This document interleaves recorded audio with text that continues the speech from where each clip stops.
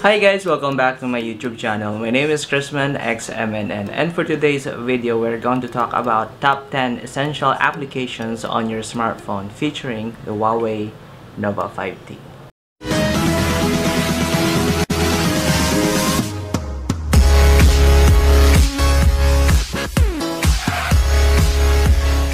Alright guys, so if you are new to my YouTube channel, please do not forget to subscribe and hit that notification bell for you to get notified for my future updates and to show support to my channel. Now before we get into the video, let me shout out to these following peeps. Shout out to Cody Maverick, Vazoni07, Kenji Red, Exotic TV, and lastly Marky Tikala. So let's get into the video. Alright guys, so the first application on the list is the universal copy. So what does it do? Um, this application is very helpful whether if you are going to copy a text on an image, for example for a code.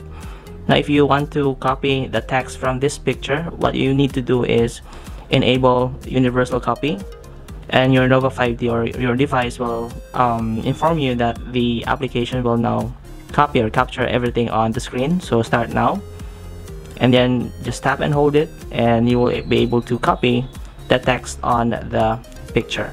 And as well as applications such as Facebook sometimes or other applications would not allow you to copy the text.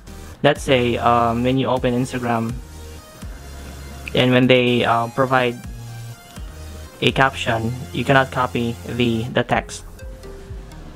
So what to do is to copy the text is to enable the universal copy and then tap and hold the screen and you will see the text here and then you can copy the text so this is a very help, helpful feature when you are receiving pictures that has a lot of text and you want to um, copy the text from it the next application on the list is the GB Instagram. This is not found in Google Play Store, but you can actually check my previous videos. I uh, actually discuss or feature this application on my um, previous videos.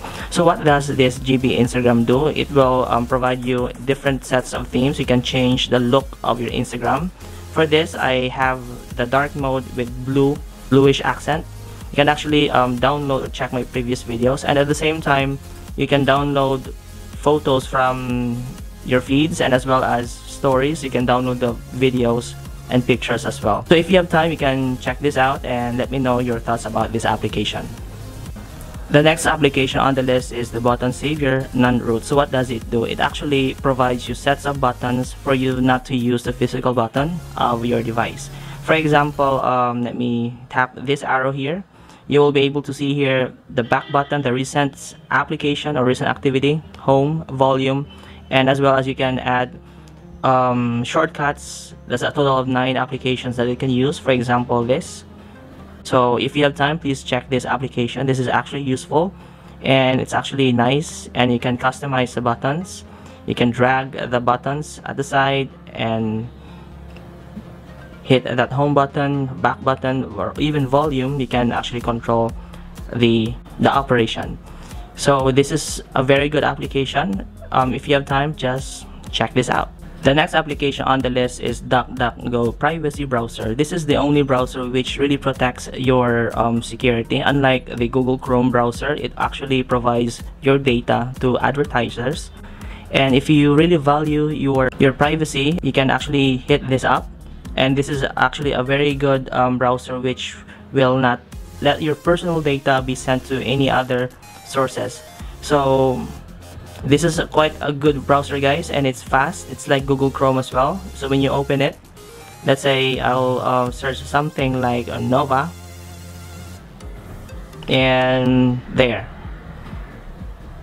It's very fast and intuitive and as well as there are encryptions that are being implemented on your browser so that your pers personal information or your browsing history will not be sent to any advertisers. The next application on the list is the Google Keep Notes and List. This is a note-taking app which is a very helpful tool for me and maybe for you as well because this application synchronizes to the Google servers even if you are going to use a laptop and you and you just log into your um, email you can also see your notes on a laptop or any other device which has Google Keep or Google Keep Chrome extension or through the website as well using a different device. So what is this? This is a note-taking application of course. Um, you can actually add here uh, photos image drawing recording or audio recording or checkboxes and you can add notes here. And you can also change the look or labels. You can color um, coding or color code the the look of the notes as well one feature that I really like about this application is that you have the search for your notes. You can just type in the, the keyword for example comic and it will auto-populate all those notes all those notes who has the word comic so that you can easily search for your previous or old notes. So if you have time just give it a try. The next application on the list is the Adobe Lightroom mobile application. This is a very advanced tool for you to edit your photos, exposures, and even um, you can add presets to your pictures. For example, I actually have I actually downloaded presets from other creators which they provided it for free. For example, um, with this kind of presets, you can just tap a preset and then tap this portion and then you can copy the settings you, can, you will be able to see the profile color, the light color, effects, details, and optics. You just tap on this check mark. And after that, go back to the picture that you would like to apply the preset. For example, this one. You just tap this option here and then paste the settings. And you will see the the color has been modified to look like the presets that we have copied from. The next application on the list is Picnic Photo Filter for Dark Sky dash travel application. So this is actually a good application if you have taken photos on a weather which the sky is not very good to look at. Um, let me um, demonstrate that one for you. So let me open the gallery and let me um, pick some photos which I would like to change the sky. For example, this one. This is actually really a good sky already, but there are sets of sky filters that you can use from. For example, this it will really change the sky guys and it's a very nice photo editing app if you have taken if you have taken a photo on a scenario wherein the the sky is so gloomy you can actually change it to match the to match the looks that you would like to have on your phone and actually you can change the filter how intense the filter would be so this is a very nice application. If you have time, just download this application while the application is still free. Okay, so the next application on the list is Touch Retouch. So this is a photo editing application which is a very simple one which primarily focuses on removing unnecessary objects to your photos. So let me demonstrate how it works.